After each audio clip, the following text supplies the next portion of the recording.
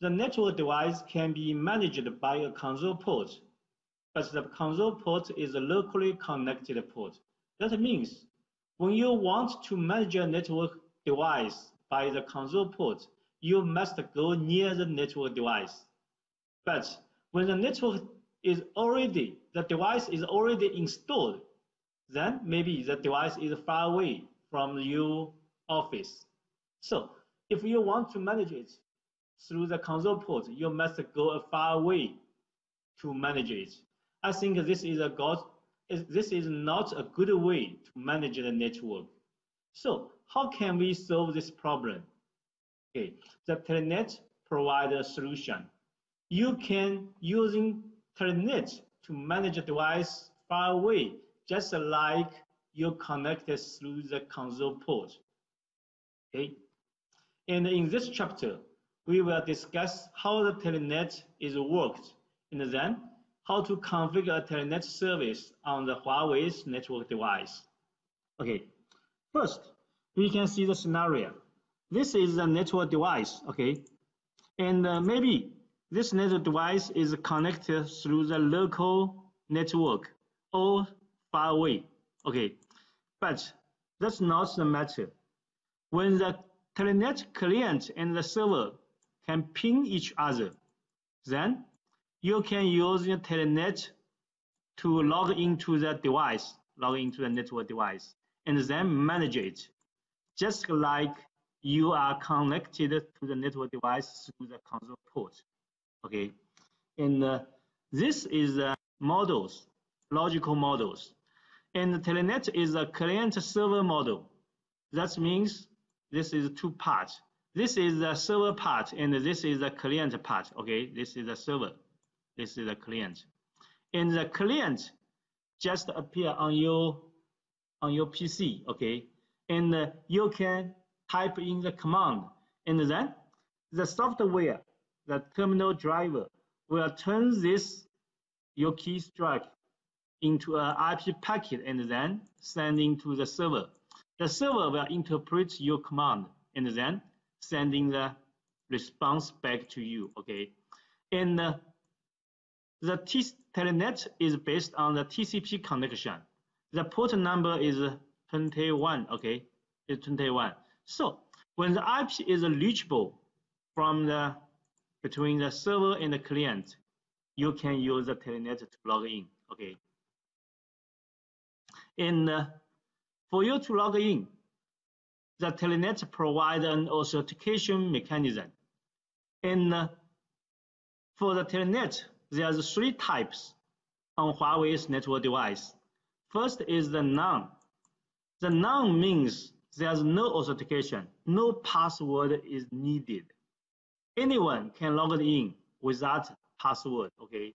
And then there's another method we call AAA, triple A. The triple A means you must log in using the username and the password.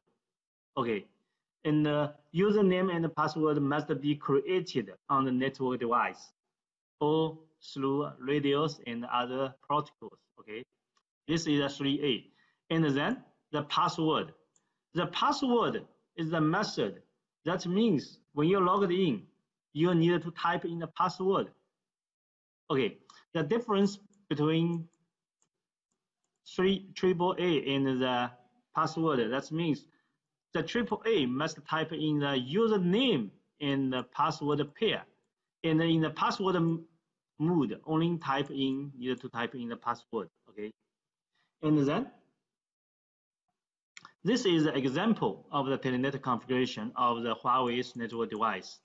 And this configuration is the password mode, okay? So, first, these two devices, client and the server, must be reachable, okay? So, need to configure IP address because it's locally, so they can ping each other directly. Okay, just configure an IP address on the on the Telnet server on the network device.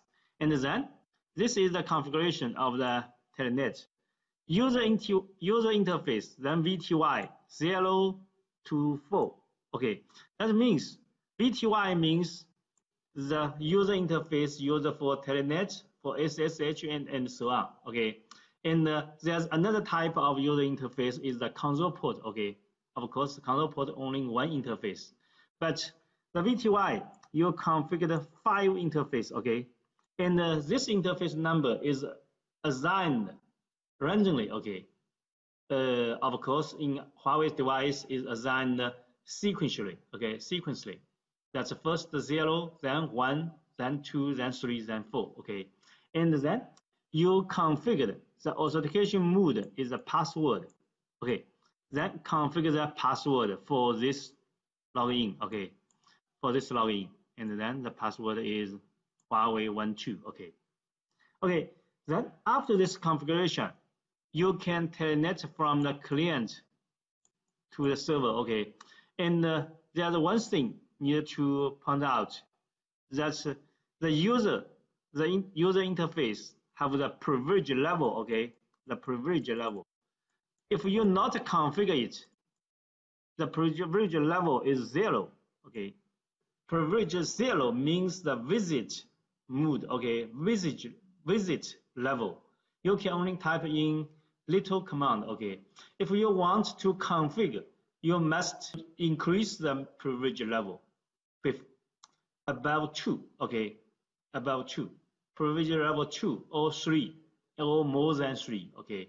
Of course, the whole privilege level is from zero to 15, okay? And then after this configuration, you can telnet from the client, okay? On the client, you type in telnet and then the destination IP address. Then they will communicate. Of course, telnet using TCP 23 port. And then there's responding and uh, a password request is prompted to you. And then you type the password Huawei12, okay, you have ever configured on the Telnet server. And then the prompt is appear on your terminal. Okay, this is all the Telnet configuration.